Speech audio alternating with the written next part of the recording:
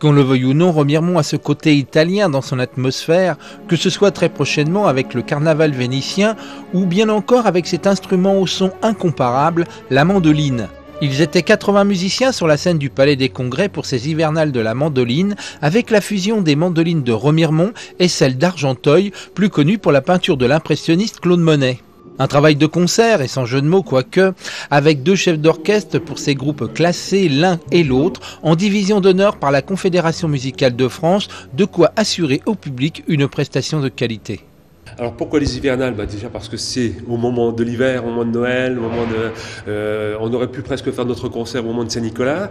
Euh, pourquoi ce concert en fin d'année? C'est parce qu'on s'est rendu compte qu'on n'était pas suffisamment présent sur Remiremont, euh, qui est quand même la ville d'origine de notre orchestre. Et on a voulu donc offrir à notre public un deuxième concert annuel, donc un concert au mois d'avril et un concert au mois de décembre, ce qui permet d'avoir donc une présence sur Remiremont.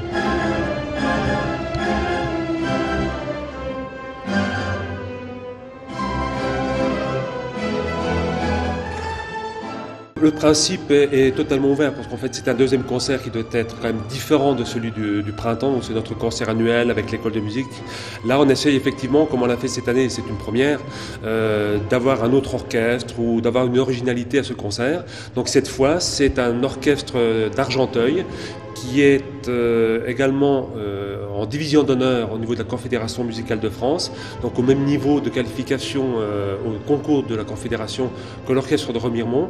Et donc lors du dernier concours, on a décidé de, de faire quelque chose ensemble, et en particulier ce concert qu'on vient de faire la semaine dernière à Argenteuil et sur Remiremont pour présenter un orchestre de près de 80-90 musiciens, donc un orchestre d'envergure pour jouer des pièces qui nécessitent justement beaucoup de musiciens pour donner de volume.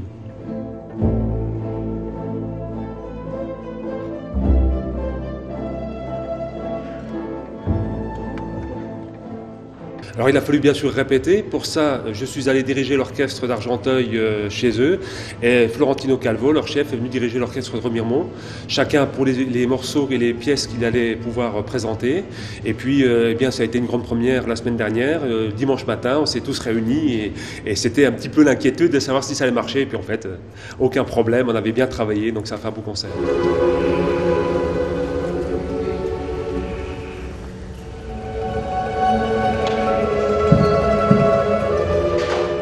La, programmation, il a fallu que chacun essaie de trouver dans les pièces qu'il a l'habitude de jouer déjà une ou deux pièces pour être quitte de travailler tout un programme euh, complètement reconstitué.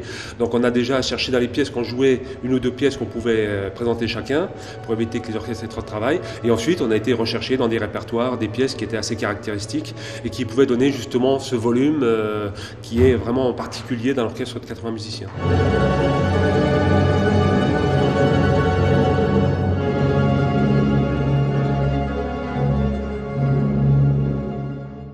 De Remiremont, on le connaît depuis très longtemps et euh, ça date essentiellement de la rencontre qu'il y avait eu entre les deux anciens chefs euh, de ces deux orchestres, Gilbert Zog et Mario Monti, qui ont travaillé ensemble euh, au sein de la commission des plectres de la Confédération musicale de France. Donc c'est une amitié qui s'est nouée depuis maintenant plusieurs, plusieurs dizaines, dizaines d'années, oui.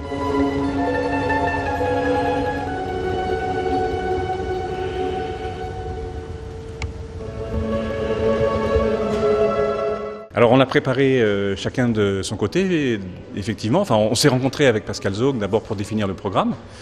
Et puis ensuite, eh bien, on s'est mis au travail chacun de notre côté. Et puis, euh, une fois que le travail était bien avancé, euh, le plus pratique, c'était de déplacer seulement les chefs. Donc, Pascal est venu nous faire travailler, nous, à Argenteuil, et moi, je suis venu ici faire travailler les musiciens donc à Remiremont. Et puis on s'est retrouvés, en fait, euh, la première répétition, vraiment, on a eu tout le monde et on s'est retrouvés tous, c'était euh, dimanche dernier à Argenteuil, pour la répétition générale du concert qu'on a fait à Argenteuil euh, dimanche après-midi dernier. Donc on a eu une grande matinée où on a retrouvé vraiment tous les musiciens réunis.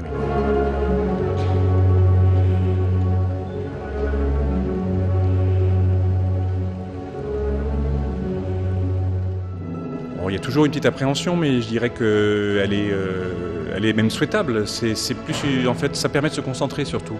À partir du moment où le travail a été bien fait, euh, bien il y a un moment de, effectivement, on sent que les musiciens sont pas dans le même euh, état d'esprit qu'à la répétition, et souvent ça apporte un plus parce qu'on sent les gens ben, très concentrés et très, je dirais, plongés dans, la musique.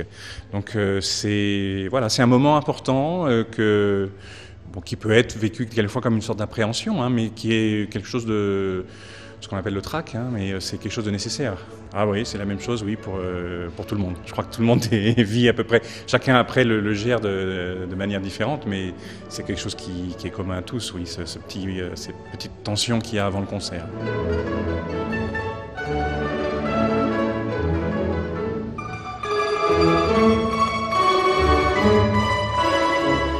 C'est pas la première fois, mais c'est assez rare quand même qu'on ait 80 voire 90 musiciens au pupitre.